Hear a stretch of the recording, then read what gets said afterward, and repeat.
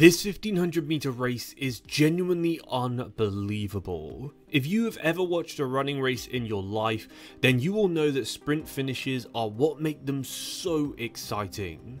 In this race we are reviewing today, we have a 1500 meter final with Jakob Ingebrigtsen's older brother, Filip, taking part.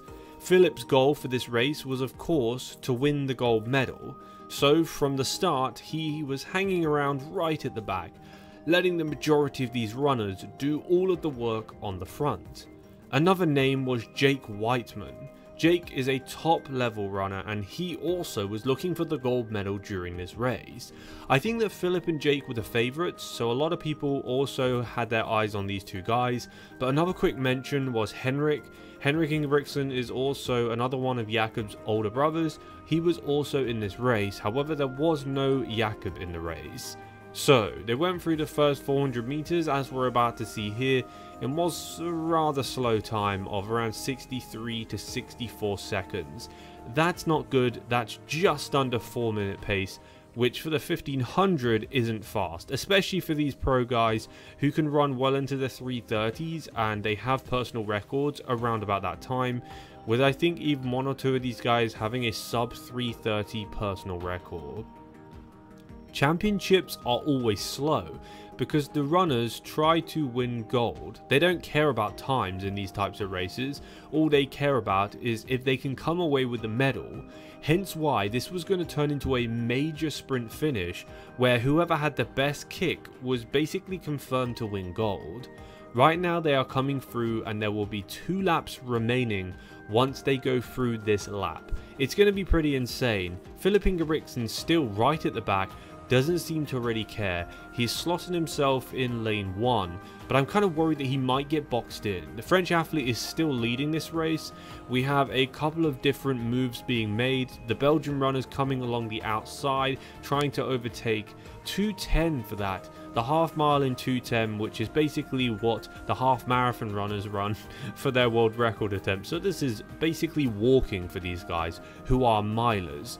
So I noticed the pace did increase slightly as Jake Wightman decided to go up the, the outside and at that moment the runners noticed and they started to increase the pace. It was a very subtle and slow wind up but now we can see that they're all taking this very seriously as they're coming round for only one lap to go. When that bell goes they are going to start flat out sprinting and at this point they basically already are. Jake Wightman for Team GB is in lane 2 and he's now working up to third place here the bell has been rung and Jake has unleashed a crazy kick. But has he kicked way too early? Well, wait and see if he wins the race or gets passed by almost everyone. Henrik Ingebrigtsen is also up there. He's doing a great job at staying with the pace. Filip has got himself boxed in in lane 1, but he's around about 5th position right now, and he's actually overtaken Henrik, his brother. Filip is going for this and he is proper flat out, but he has timed his sprint finish almost to perfection. Jake Wightman is still in the lead here, but you can just see him beginning to tie up and look extremely fatigued, with mistiming his kick completely. Here we can see the German running for first, but out of nowhere, Filip Ingebrigtsen just starts unleashing a crazy kick, along with the Spanish athlete who also timed his kick so well. A 51 second last 400 meters is genuinely insane. That is extremely fast, up there with the top 10 fastest ever last laps of a 1500 meter race.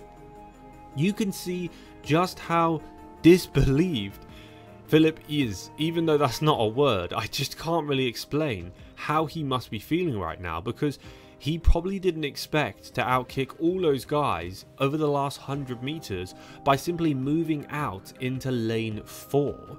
It was a very very great run and Henrik unfortunately missed out but he did really really struggle towards the end of that race as he also kicked a bit too early like Jake Wightman did. Poor Jake Wightman who was originally leading with only one lap to go started sprinting way too early on and as a result it just ruined his entire race. The rest of the runners in this pack timed their race to perfection and it was insane to watch. I couldn't believe it, and it was actually really exciting because the race as a whole was really tactical. When races are tactical, they become super fun. Jake Wightman attempted to win the race, but he just didn't have the last kick and he had to hold on. I studied his race in slow motion and found that he actually put his kick in from the last 400 to 300 meters. It was between that 100 meters, and that's when he basically lost all his energy. He kicked way too early, and I think he expected to be able to easily pull away from everyone and run like a 53 second lap, but he didn't realize that literally everyone was in great shape, and quite literally everyone in this race had planned to have this happen. They'd probably done training specifically geared towards sprinting over the last lap. I also noticed Cameli in this race, we had Amdouni, Henrik Ingebrigtsen, it was loaded you guys, this field was absolutely loaded, hence why the last lap was incredibly fast.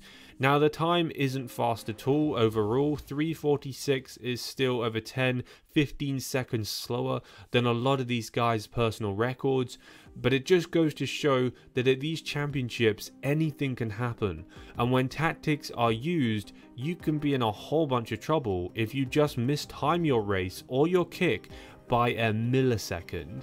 It is crazy, and I think that Filip honestly was in a state of disbelief that he actually won the race, and I think that he was expecting to not be able to outkick Jake Wightman, who has one of the best kicks out of all milers, all middle distance runners in history, uh, let alone in that current time.